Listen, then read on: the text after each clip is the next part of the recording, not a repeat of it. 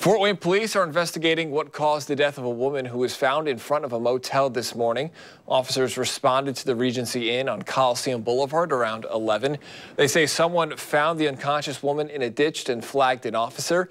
Investigators believe she had been dead for less than 24 hours, but they found no obvious signs of a crime or a crash. The Allen County coroner will release the woman's name and cause of death following an autopsy.